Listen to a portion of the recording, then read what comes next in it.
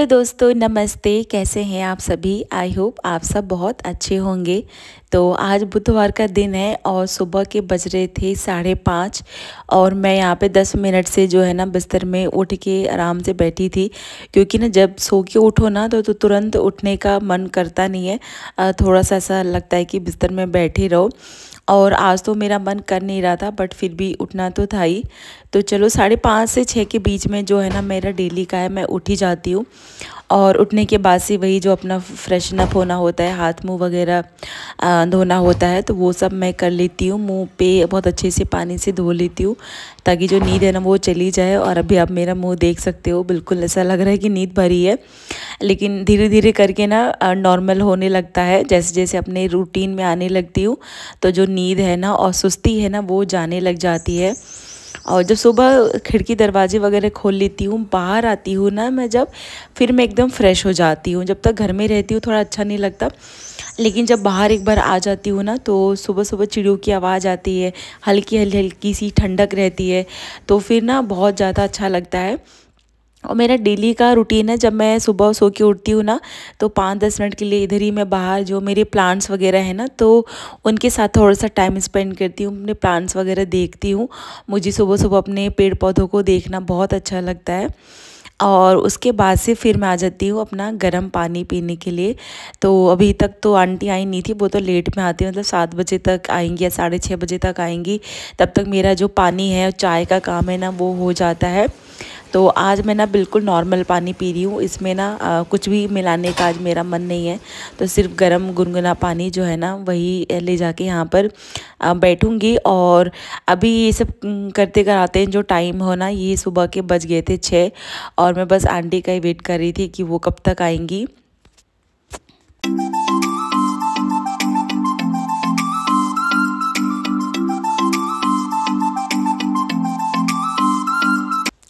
और ये जो कपड़े ना मशीन में ना मंगलवार की शाम को मैंने धो दिए थे, लेकिन मैंने ना रात में फैलाए नहीं तो फिर अभी सुबह सुबह ही जो है ना कपड़े मैं फैला दूँगी। तो ये ना नौ दस बजे तक सारे कपड़े जो है ना सूख जाएँगे, क्योंकि धूप सात बजे के बाद से इतनी तेज़ धूप होने लगती है, और नौ दस बजे तक तो बहुत तेज़ धूप हो जाती है। तो उधर ना आंटी भी आ गई थी और वो अपना बर्तन वगैरह धो रही थी। तब तक मैंने सोचा कि ना अब मैं भी अपना काम जो है ना वो स्टार्ट कर लेती हूँ। तो आज मुझे ना अपने घर के दो बाथरूम है ना मेरे घर में। तो आज मुझे अपने घर के दोनों बाथरूम मुझे क्लीन करने हैं। तो मैंने सबसे पहले ना ये जो दूसरे वाला रूम है जिसमें हम लोग नहीं सोते हैं, इसका कम, इस वाले बाथरूम का यूज़ वैसे तो कम होता है, लेकिन इसको भी मैं बीच बीच में ना साफ़ करती रहती हूँ। तो मैंने यहाँ पे पहन लिया है ग्लव्स और जो हारपिक है, वो मैंने टॉयलेट सीट पे और जो वॉश बेसिन है, उसमें मैंने हारपिक लगा के एक मेरा ब्रश रखा हुआ है। नॉर्मली मैं इसी से साफ़ करती हूँ तो बहुत अच्छे से जो है ना, साफ़ हो जाता है। और जो टब, टैब होता है ना, टैब तो उसको भी मैं हल्के, जो उसी ब्रश से ना उसको भी साफ़ कर देती हूँ तो नल भी साफ़ हो गया है और उधर वॉश बेसिन भी साफ़ कर दिया है। उसके बाद से बारी आती है शीट को साफ़ करने की। तो मैं जब शीट को साफ़ करती हूँ ना तो मैं पूरा मतलब ऊपर से नीचे तक पूरे शीट में आ, वो है ना आ, क्या कहते हैं ब्रश से साफ़ कर देती हूँ तो बिल्कुल चमक जाता है साफ़ हो जाता है। क्योंकि ना मुझे ना गंदा बाथरूम बिल्कुल भी पसंद नहीं है बहुत ही ज़्यादा गंदा लगता है। तो मैं मतलब हर दूसरे दिन ही जो है ना मैं बाथरूम को अच्छे से वॉश करती हूँ। वैसे तो धुलना तो डेली होता है लेकिन हारपिक हर दूसरे दिन ही मैं लगाती हूँ। डेली हारपिक का यूज़ नहीं करती मैं हर दूसरे दिन मैं साफ़ करती हूँ हारपिक से। उसके बाद से ऊपर की सफ़ाई मेरी हो गई है। नीचे जो फ्लोर है ना, उसको मैं डिटॉल हैंड वॉश से साफ़ कर रही हूँ। तो डिटॉल हैंड वॉश से साफ़ करने से ना, एक तो गंदगी तो चलो साफ़ हो ही जाती है। साथ ही साथ जो जर्म्स वगैरह है ना, वो भी मर जाते हैं। और ना बाथरूम में अच्छी सी खुशबू भी आती है हैंड वॉश से ना, साफ़ करने की। मतलब बाथरूम ना बिल्कुल फ्रेश फ्रेश लगता है। बाथरूम जब जाओ ना तो अच्छी सी खुशबू जैसे आती है। तो अच्छा लगता है बाथरूम को यूज़ करना भी। तो यहाँ पे देखिए मैंने जो है ना पूरा फ्लोर वो भी साफ़ कर दिया है और ये थोड़ा सा पीछे का एरिया है मेरे वॉशिंग मशीन का जो कि बहुत ही छोटा सा एरिया है जहाँ पे वॉशिंग मशीन रखी हुई है। तो इसके पीछे भी ना धीरे धीरे कर कपड़े धो ना तो उसकी मिट्टी वगैरह धीरे धीरे जाके यहाँ पे बहुत जमा हो जाती है, बहुत गंदा हो जाता है। तो जब ये बाथरूम धोती हूँ ना तो हर दूसरे दिन तो नहीं, हफ़्ते में एक दिन मैं इधर पीछे की सफ़ाई भी कर देती हूँ।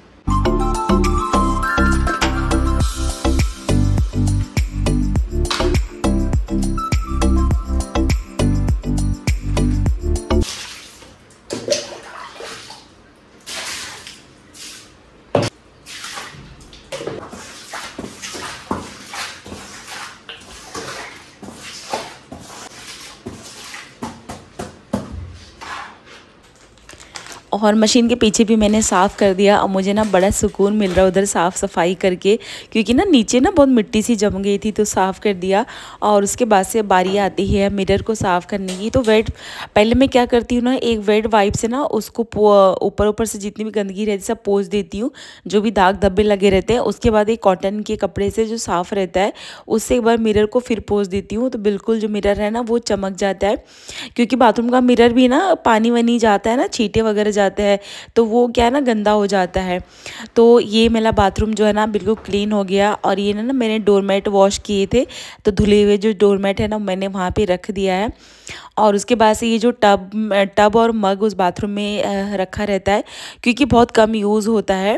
तो फिर ये भी ना, नीचे ना इसका थोड़ा सा गंदा हो गया था काला काला सा ना, क्योंकि पानी यहाँ पे कभी कभी बहुत गंदा आता है। तो अगर धो नहीं ना धीरे धीरे वो गंदगी जमने लग जाती है। तो अभी बाहर भी पानी आ रहा था तो मैं टब को बाहर ही लेकर आ गई और इसे ना, इसको भी अच्छे से वॉश कर दिया है। और इसको भी ना, थोड़ी देर मैं धूप धूप में रख दूँगी ताकि ना बिल्कुल अच्छे से साफ़ हो जाए। और यहाँ पे भी मैंने इसको पानी से धो दिया है। तो ये घर की ना जो छोटी मोटी सफ़ाई रहती है ना, इसका भी ध्यान रखना बड़ा ज़रूरी होता है।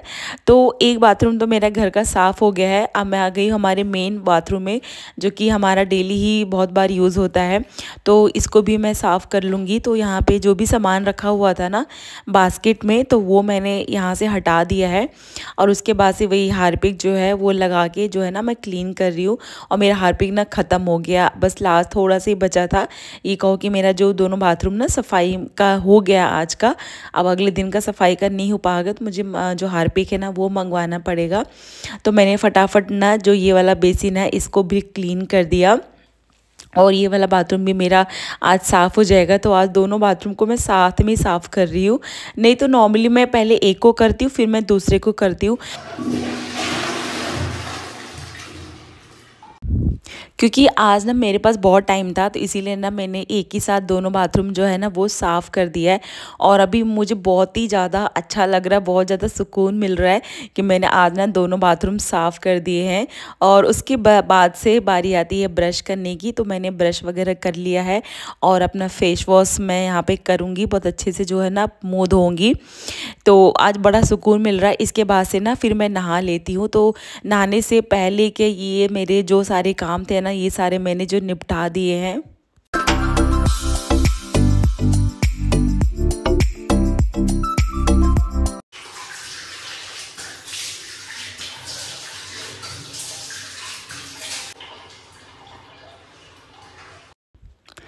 तो मैं नहा के आ चुकी हूँ और ना आज मैंने हेयर वॉश भी किया है क्योंकि कल रात में ना मैंने बालों में ऑयलिंग किया था। तो अभी बाल तो धोना ही था। हर मतलब दो गर्मियों में दूसरे दिन पे मैं, अपने जो बाल है ना वो मैं धो लेती हूँ और मेरा भी पूरा घर जो है ना साफ़ है। पूरी घर की जो डस्टिंग है वो मैंने ऑलरेडी कर दी है। मेरे दोनों बाथरूम साफ़ हो गए तो पूरा घर अंदर से बाहर लेके किचन से लेके बाथरूम तक सब कुछ साफ़ है ना तो बड़ा सुकून मिल रहा है।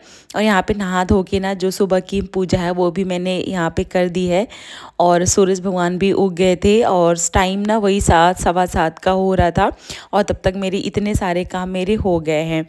तो ये सब काम निपटाने के बाद से मैं आ गई हूँ डायरेक्ट किचन में और जो गैस है ना मैं उसको पोछ रही हूँ। सुबह चाय वो बनाई थी ना, चाय तो थोड़ी सी गिर गई थी। तो और वैसे भी जब सुबह का नाश्ता वगैरह बनाती हूँ ना तो एक बार मैं गैस को पोछ देती हूँ और गैस के नीचे में जब भी उठाती हूँ ना आजकल तो मुझे पहले मैं अच्छे से देख लेती हूँ कहीं छिपकली तो नहीं बैठी है क्योंकि वो छिपकली अक्सर मेरे इस चूल्हे के नीचे बैठी रहती है इसलिए मैं डर डर के ना चूल्हा उठाया मैंने क्योंकि वो अक्सर यहीं पर उस, उसने अपना घर बना लिया यहाँ पे। तो चलिए आज नहीं बैठी थी भगवान की दुआ से तो फिर मैंने गैस वगैरह पोस दिया प्लेटफॉर्म भी पोस दिया और अब बना रही हूँ बढ़िया सी अदरक वाली कड़क गर्मा गर्म चाय और नहाने के बाद तो बस अच्छी सी चाय मिल जाए, ना तो और क्या ही चाहिए। और हस्बैंड भी यहाँ पे उठ गए थे ऑस्कर की वॉक वगैरह करवा के आ गए थे। और हम लोग यहाँ पर बैठ के पियेंगे चाय। और फिर आज ना मैं खाने में, अब मैं, आज मैं एग करी और चावल बनाऊँगी, नाश्ता वगैरह नहीं बनाऊँगी, सीधे हम, आज लंच ही बनेगा। पहले हम फ्रूट्स खा लेंगे तो उसके बाद से फिर हम लोग लंच करेंगे। तो यहाँ पे ना जो मैंने एग है ना, वो बॉईल करने के लिए रख दिया है। जब तक उधर एग बॉयल्ड होता है, तब तक मैं इधर उसकी जो तड़की की तैयारी है ना, वो मैं कर लेती हूँ।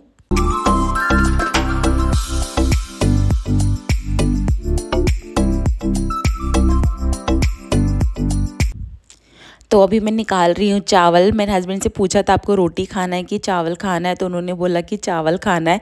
तो मुझ, मुझे तो इतनी खुशी मिल गई कि चलो आज रोटी नहीं बनानी पड़ेगी। मतलब मैं तो चावल ही खाती हूँ, मैं तो रोटी मतलब बहुत ही कम खाती हूँ रेयरली कभी रोटी खाती हूँ। नहीं तो मैं ना दोनों टाइम जो है ना मैं राइस ही खाती हूँ, मुझे राइस खाना अच्छा लगता है। तो एक तरफ़ मैंने जो है ना वो चावल रख दिए है। तो जब कोई बोलता है ना कि रोटी मत बनाओ, चावल ही बना दो तो जो खुशी है ना, आप हाउस जो लोग हैं वो समझ सकते हैं कि रोटी ना बनाने की खुशी कितनी ज़्यादा होती है, चाहे चार रोटी ही ना मतलब बनाना पड़े। तो चलिए उधर ना चावल रख दिया, उधर दूध भी रख दिया गर्म करने के लिए, और जिसमें अंडे बनाने मैंने वो भी रख दिए। और इधर मैं, मैंने काट लिया है एक टमाटर, और ये टमाटर मेरे गार्डन का ही है, बिल्कुल फ्रेश ऑर्गेनिक टमाटर है।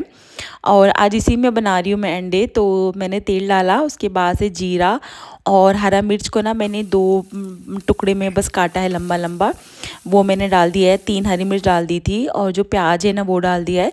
प्याज जब भुन गया, उसके बाद से जो मेरे पास गार्लिक और जिंजर का पेस्ट रखा हुआ था ना तो वो डाला है और उसके बाद से टमाटर और जो बेसिक मसाले हैं बहुत ही थोड़े से वो मैंने डाल दिया है। अब मसालों टमाटर को अच्छे से मैं थोड़ी देर तक भून लूँगी।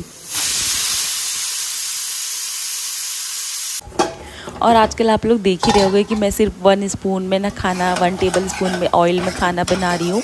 स्टार्टिंग में तो थोड़ा देखो जब ज़्यादा तेल की आदत रहती है ना, फिर कम तेल खाओ तो थोड़ा सा अच्छा नहीं लगता है। मतलब मुझे तो कोई फ़र्क नहीं पड़ता, मेरे हस्बैंड की बात बता रही हूँ। लेकिन जब धीरे धीरे वही खाती रहो ना तो आदत हो जाती है। मुझे तो अच्छा ही लगता है खाना, कम ऑयल वाला जितना हेल्दी हो। तो यहाँ पर मसाले के साथ ही मैंने अंडे डाल दिए हैं, उबल अभी ये। पहले से उबाल के मैंने इसको छील लिए थे। अब बस थोड़ी देर में जो है ना, एक हमारे जो है ना, बन जाएगा। क्योंकि एग तो पहले से उबला हुआ था, बस ग्रेवी पकनी बाकी थी। और बस इसमें मैंने ऊपर से डाल दिया खूब सारा हरा धनिया। तो जो हमारा एग करी है, बन गया है, चावल भी बन गया है। और उसके बाद से जब हमारी यहाँ पे झाड़ू पोछा जो हमारी मेड लगाती है ना तो ये सब जो कारपेट वगैरह, जो कालीन सब बिछी रहती है ना, रनर वगैरह तो उठा के ऊपर रख देती हैं वो। तो जब वो चली जाती है, फिर उसके पास से मैं इसको जो है ना, बिछाती हूँ और सेट करती हूँ। और जो मुझे डस्टिंग भी करनी रहती है ना तो फिर मैं भी हटा के डस्टिंग कर लेती हूँ। अब उन सारे सामान को उनकी जगह पर मैं प्लेस कर दूँगी और सभी जो इंडोर प्लांट्स है ना, इसमें मैं डाल दूँगी आज पानी। क्योंकि इंडोर प्लांट में ना, मैं हर दिन पानी नहीं डाल डालती हूँ तो हर दूसरे दिन पे पानी डालती हूँ, क्यों? तो फ्रेंड्स ये था मेरा 5:30 टू 9:30 मॉर्निंग का व्लॉग आई होप आपको मेरा ये वीडियो पसंद आया होगा. तो दोस्तों, मिलते हैं एक नेक्स्ट व्लॉग में. तब तक के लिए अपना ख्याल रखिए. Bye take care